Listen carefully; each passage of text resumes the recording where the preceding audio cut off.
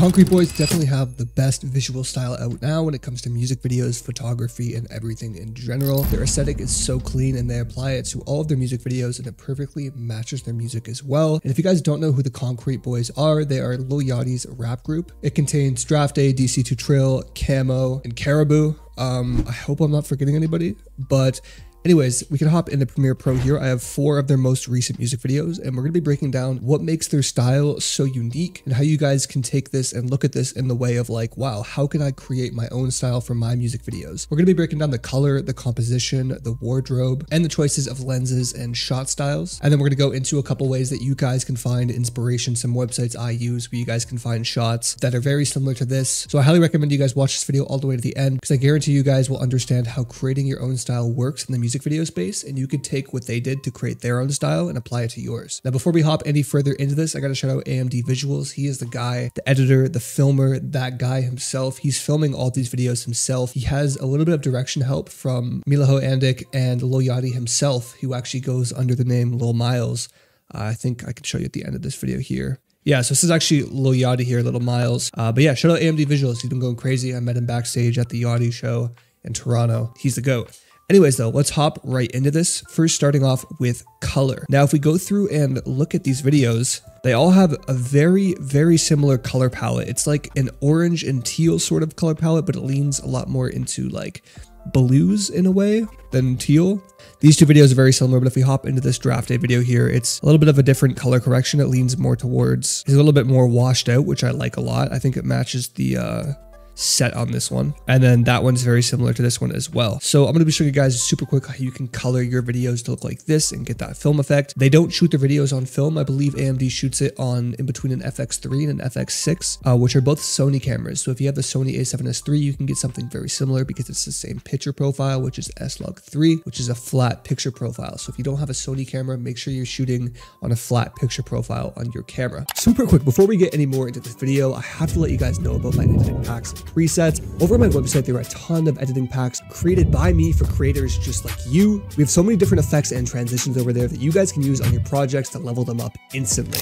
We have everything ranging from fast input effects that allows you to add drag and drop shakes, hits, and wipes to your videos super easily, a LUT pack that contains over 285 different LUTs, drag and drop 3D effects that work on every single editing program that require no render time whatsoever, and so many other different unique looks, editing packs, and styles that you guys can use to level up your visuals. If you guys are stuck in an edit or you're just looking to take your videos to that next step for 2024, I highly recommend going over and checking out the site because there's something there for you. But anyways, let's hop right back into this. All right, so starting off on this clip right here, we're gonna be taking this clip from the music video. I've converted it into flat footage and now we're going to be coloring it to get the similar look. So what I like to do to color my videos is I go into project, I'll right click and I'll create a new item and we'll create an adjustment layer right here and then hit OK. And then what I'll do is I'll drag and drop the adjustment layer on top of our clip. I'll click on the adjustment layer and then go into Lumetri Color, go under creative here and then under look, we're going to hit none and then hit browse. Now I highly recommend you guys color your videos using LUTs just as a base to begin everything with and then go in and tweak it after. If you guys don't have LUTs, there are a bunch of free LUT packs on the internet. There's so many you could find on YouTube for certain styles, but I highly recommend checking out my LUT pack. It's the Tiny Tapes Ultimate LUT pack. It'll be linked below. It has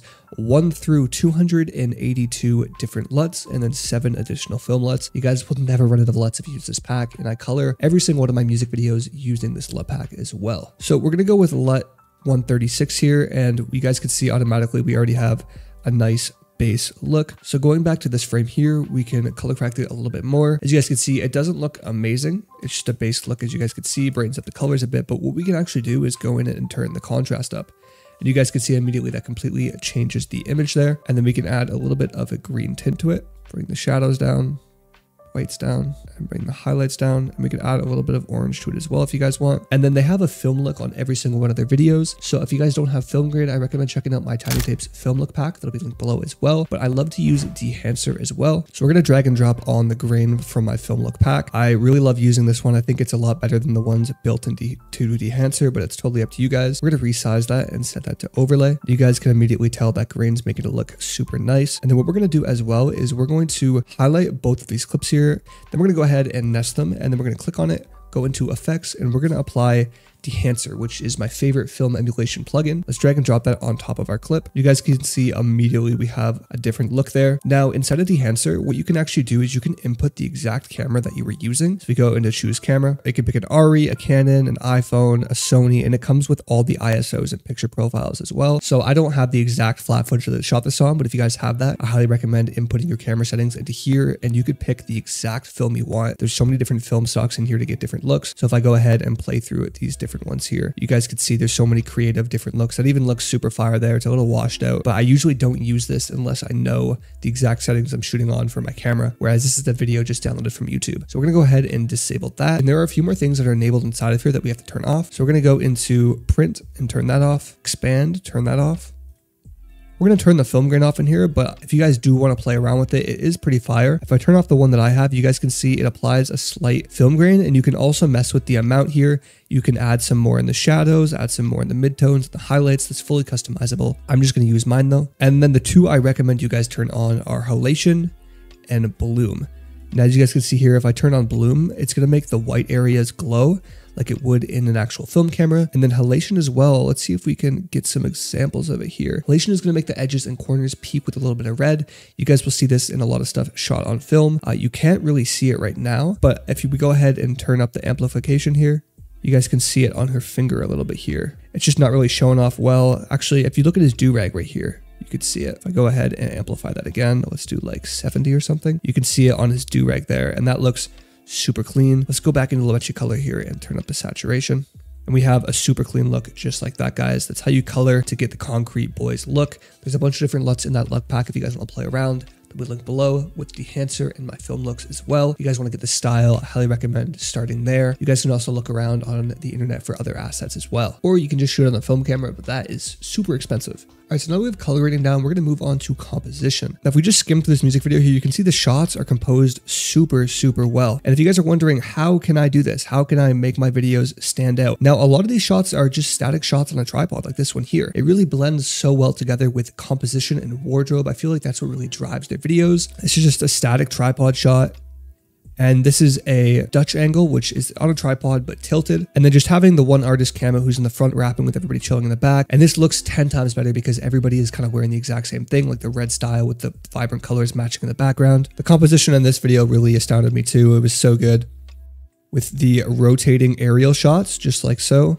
rotating from above. And then I really love this scene as well here where you have the mechanic working on the car with camo and then draft in the back. It's kind of like a leading lines. And this one here as well is super great as well. Now, if you guys are wondering, how can I find these shots? How can I figure out new compositions and stuff to mess around with? Well, I'm going to put you guys on right now. There's a couple websites. I'm going to first start off with EyeCannndy right here. We go onto EyeCannndy.com. You guys can see we have a bunch of different inspiration. If you're wondering like, wow, like this effect is so cool, what is it? All you have to do is click on it and it will show you a bunch of other music videos that use this effect. I highly recommend using this while making your treatments or before you go to a run and gun shoot just to get some style ideas for your videos. You can find a lot of unique shots on here and then just watching some other music videos as well, you can find some great stuff. Now, if you pair a website like this to something like ShotDeck as well, where it has static shots like this, where you can click on one, go down and find a lot more stuff that's similar. Scroll through. Let's say we like this one, same thing. Scroll down. This one's great. Oh, we have a bunch of other stuff that looks just like it. If you can pair this with eye candy and get a visual style of composition with like the movement from eye candy, you will be well off on your way to have your own unique style. And I feel like if you just take like five inspirations from here and kind of just lock in on tripod shots and nailing wardrobe as well,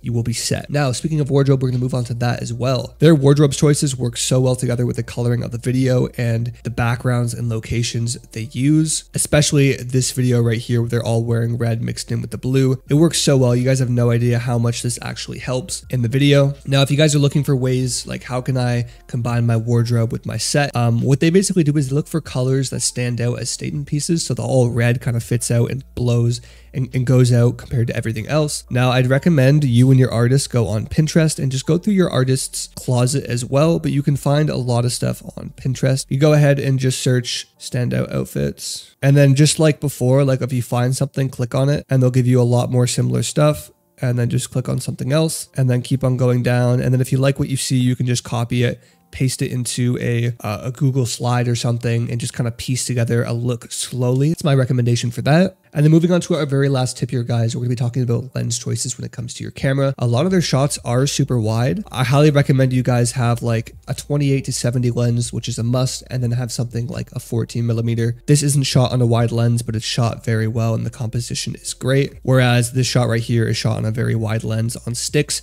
and it lets you capture a lot more and kind of gets a really unique effect on the building compared if you shot on a tighter lens. Just having variety with your lenses is super important as a videographer. Going back and forth between the video and not shooting your entire video on one lens is super important as well. If you guys enjoyed this video and learned something, leave a like and subscribe as well. And all of my editing packs will be linked below. Go check out this video right here. It will help you on your editing journey. I'll See you guys in the next video. Peace.